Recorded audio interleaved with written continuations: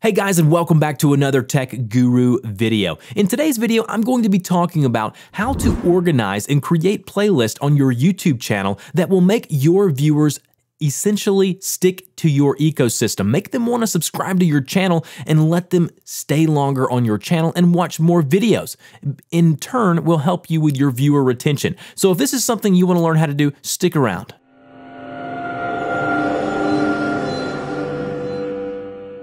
Right, guys, when we're talking about playlists, when we're looking at my channel here, you can see right here I have this opening section here that shows me what it will look like for returning subscribers. And then if I click this tab, it'll show me what it will look like for new visitors who are not subscribed yet, okay? In order to edit this section of our YouTube channel, basically all we have to do is click the pencil icon here and it will let us know, hey, this is our feature content. What do you want it to show? I have mine showing my latest upload. You can have it show your latest activity if you want. If you're a creator, I would do the latest upload. This is just the most convenient thing to show what you're uploading recently so they know, hey, they are uploading frequently and they're not someone who's going to upload once every other month and I'm going to subscribe to their channel. And again, that's talking about something else like consistency and we'll talk about that in another video. So go ahead and set up your featured content here. And then as you can see here, my next playlist is going to be my uploads. Now, you can organize yours any way you want, but what I have gained knowledge of over the past year is that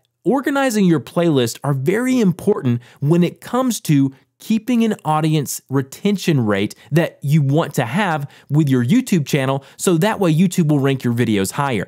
Always put a video in a playlist. So I'll show you how to do that now within your video manager. As you can see here, we're in our video manager and I am editing one of my videos. If you go on over to the right hand side, scroll down a little bit underneath where the video and the thumbnail are, you go right here to where it says playlist. It'll be a little drop down menu that says add to playlist. You'll be able to select from whatever playlist that you've created previously, or if we scroll down even more, you can create a new playlist. So that's how you add a video to a playlist. Now we're back to my homepage and I'm going to scroll down a little bit and show you what I have found to work for me. Again, you can organize yours any way you want. The first playlist I have in a vertical row, I'm sorry, in a horizontal row is my uploads. If I click the pencil icon here, again, I can edit this and change this to a specific playlist. I can change this to a live now button. I can change it to multiple playlists, but I'm going to leave my first one to be my uploads and then I the layout's going to be horizontal row. Now, what's the difference in a horizontal row and a vertical list. Here's a horizontal row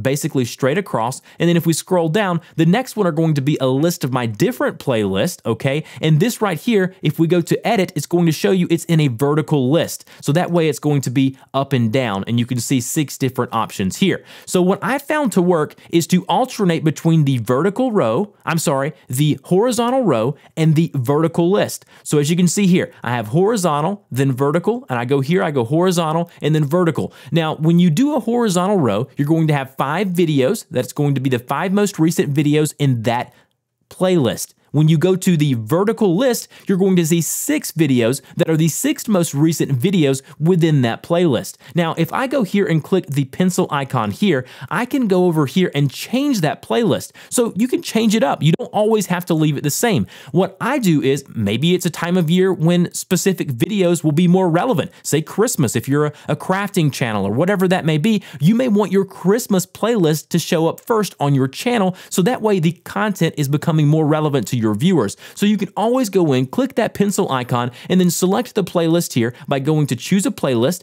As you can see, the content will always be a single playlist if that's what you're wanting to do, and then change the layout to either horizontal or vertical, and then select that playlist by either going to my playlist or you can copy and paste the playlist URL and then paste that there. So we'll go ahead and leave this one to be my YouTube tutorial playlist. So basically now when I save that, you're going to see this is my tutorials all related to YouTube, all of those videos are going to be in one section. Now, if the viewer is here on your channel, they can actually go down to the show more option and it'll show them the whole list of videos that you have within that specific playlist. Now, another thing that I want to show you is this.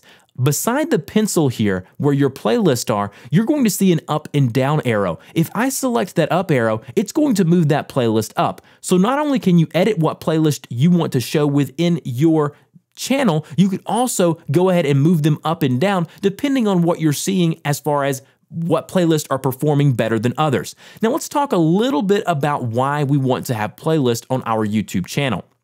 Let's say someone is searching how to do something on YouTube and they find one of my videos, like how to uh, set up my channel for YouTube monetization. How do I make money on YouTube? But they're also going to want to know how do I create a profile image? How do I create custom thumbnails?